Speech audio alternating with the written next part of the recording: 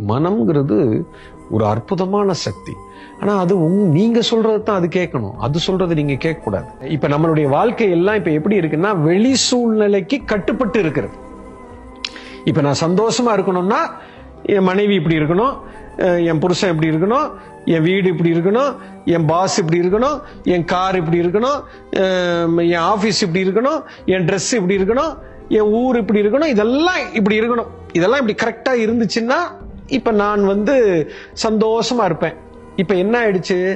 இப்போ நான் வந்து என்னுடைய சந்தோஷம் இதுல எல்லாத்துலயும் அடமானமாக இருக்கிறது. இப்ப இது ஏதாவது ஒண்ணு மாறுச்சுன்னா நான் சந்தோஷத்தை இழந்து போகிறேன். இப்ப என் புத்தி என் கட்டுப்பாட்டில் இல்லை. என் மனம் அடங்கி எனக்கு அடங்கி இருக்கவில்லை. அது என்ன சொல்லுதோ அதான் நான் கேட்கிறேன். சோ அது மாறுச்சுன்னா இப்ப எனக்கு எல்லா பிரச்சனையும் வந்து விடுகிறது. இப்போ என் மனைவி என் வீடு என் ஆஃபீஸு என் ஊரு என் காரு எது வேணா எப்படி வேணா இருக்கட்டும் சார்.